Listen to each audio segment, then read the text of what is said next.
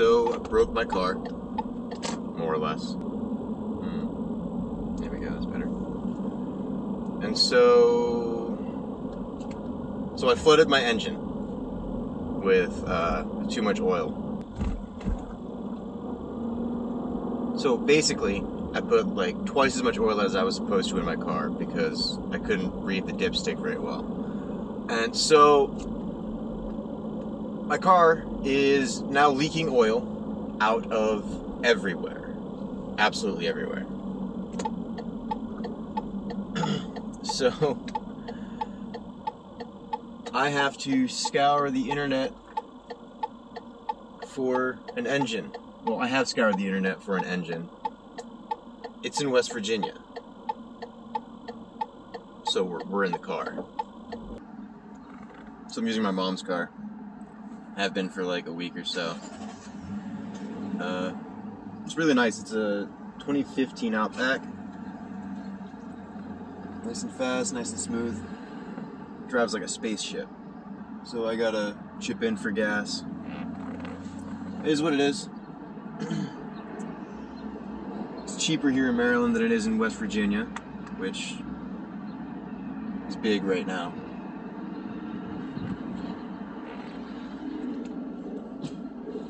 Here we go.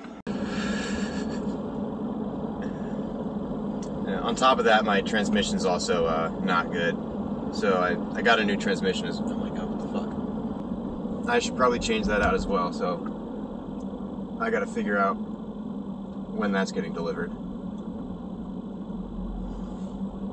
Which reminds me, I gotta go do that.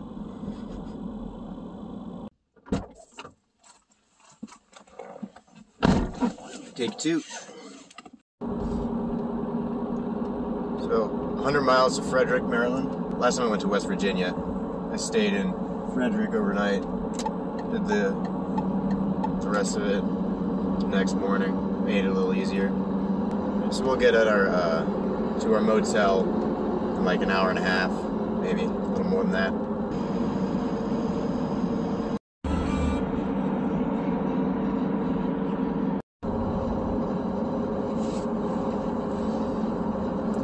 Car is ridiculously uncomfortable.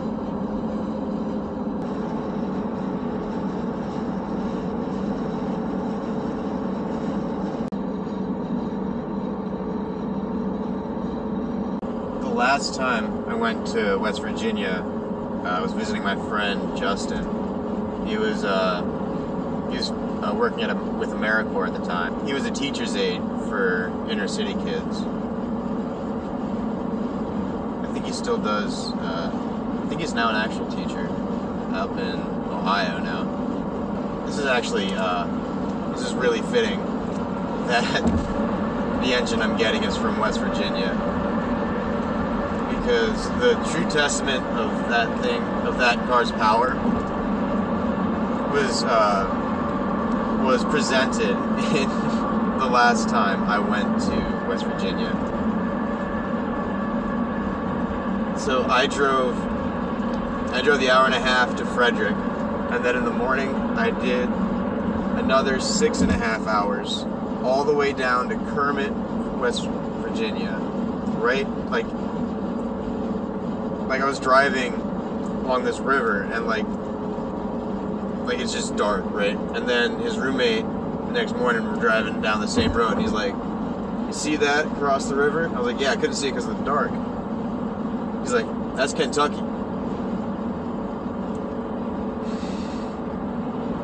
I was down there just for the weekend, just because like I hadn't seen him in forever, and so I drove uh, the, the evening and the following morning. Actually, no, it was all of the next day, pretty much, getting down there. Um, yeah, I got there at eight p.m. and that wasn't even where he was staying. He was like up on like a like a, a reserve. So we drove like another hour and a half in the dark, trying to get to the cabin. When the week was over, I had to drive home. I also had a shift at Domino's at the time that I that I had to be there for, and I drove that bitch all the way across West Virginia through the panhandle of Maryland and back down to the eastern shore in eight hours flat. And then proceeded to do an eight hour delivery shift at Domino's. No breaks.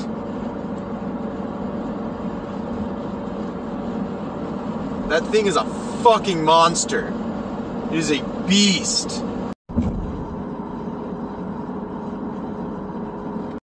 Should have done some stretches before I got in the car. My lower back is killing me right now.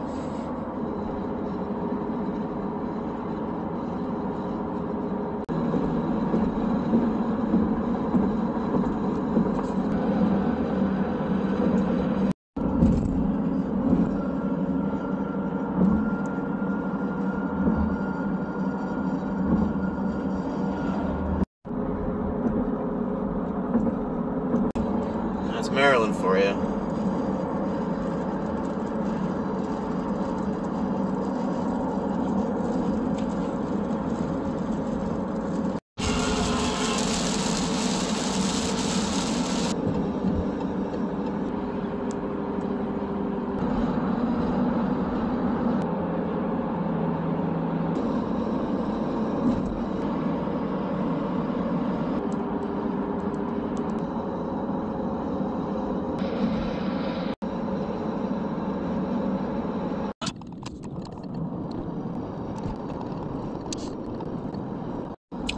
I missed my turn. It's alright. we are right on track now. We're getting into the more mountainous region, getting towards the Appalachians. So this route that I'm going on takes me like right down into like know, like two hours into West Virginia. Not not terrible. The mountains don't really get bad until you're like four hours in.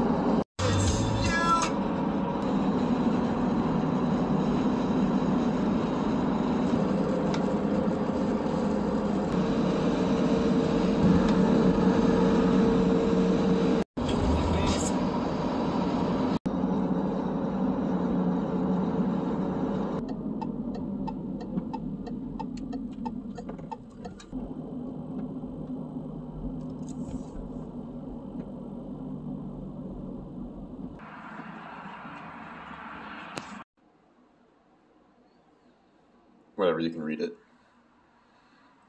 Nice space I got here. I have myself a night. So, I looked online, and the place isn't open on weekends.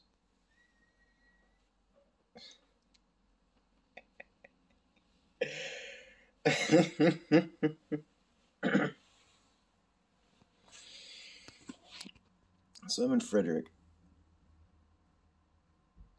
playing some No Man's Sky, wasting my fucking time.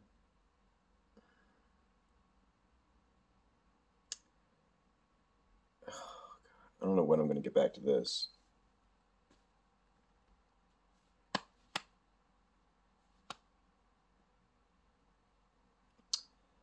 I will let you guys know how this turns out.